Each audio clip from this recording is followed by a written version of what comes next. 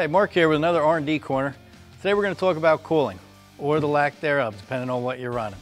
You know, we're all building these cars and trucks to drive them and have fun driving them. So if you got to plan your trips around intersections, traffic lights, stuff like that, it's no fun. If you're running at 220, that's not good either.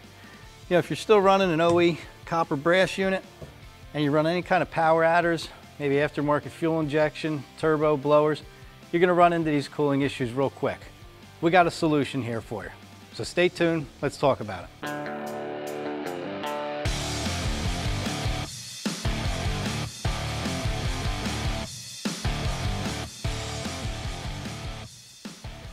And this is our solution. This is the new Maxx Power Tri-Flow radiator. what you got here is aluminum, universal Chevy style units. We got three different sizes to fit street rods all the way up to full size pickups. You got here, it's all 6061 aluminum, full TIG welded, tanks to core. We got universal mount tabs here on the side. You got your stainless steel bung for your drain. We also have another one right up here for guys running LSs. You can now run your steam port right into that line here. We got the shroud, fans, um, tranny coils, accessories there that we'll talk about in a little bit. But let me show you the detail of how these things work. We got a cutaway here. it's the same unit, only smaller. So what we did was we incorporated these flow dividers.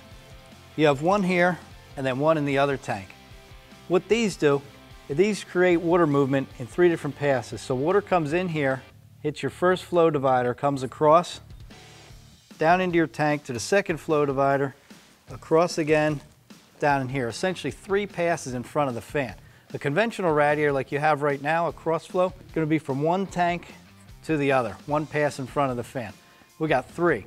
What we did, we took equivalent units, the Maxx Power Tri-Flow unit and an equivalent aftermarket aluminum radiator. We sent them out to an independent test lab in, uh, outside Detroit. They tested these on an LS motor on a test stand. What they recorded was a 22.4 degree difference between inlet temperature and outlet in the Tri-Flow and only about 10 or 11 in your standard. So what we wanted to do here at Eastwood is we wanted to validate the test results for ourselves. So we took a 68 Camaro with a small block in it. We ran it against the OE copper brass. We took a top of the line competitor's aluminum radiator and our Tri-Flow. You're gonna be impressed with the results.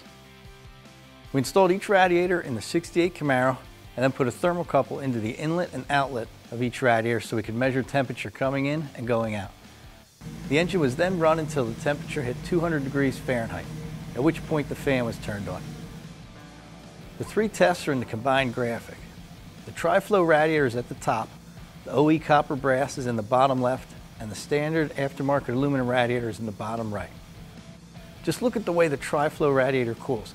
After only 17 seconds, the temperature in the Tri-Flow has dropped 20 degrees, all the way down to 179, while the other radiators are still hanging out in the mid 190s. That's 24 degrees hotter than the Tri-Flow. Now let's fast forward to one minute. The Tri-Flow is down to 174 degrees while the others are still over 187.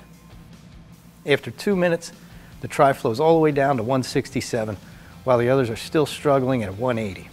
The Tri-Flow dropped more in 17 seconds than the others did in two minutes. So as you just seen from that video there, our testing validated the results from the independent lab. Now we got a line of accessories with these. We got nice aluminum shrouds. Nice thing with these shrouds, it's a no fastener look. They actually hook one to the uh, top and bottom of the unit. We got high quality Derale fans. We got tranny cores and uh, fan controllers to go with it.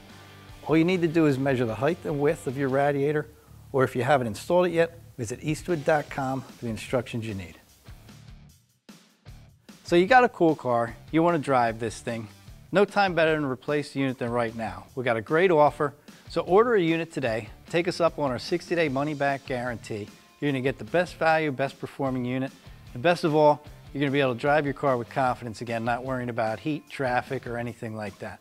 So click the button below to visit eastwood.com, order your unit today, plus get our 60-day money-back guarantee and the confidence you need to drive your car.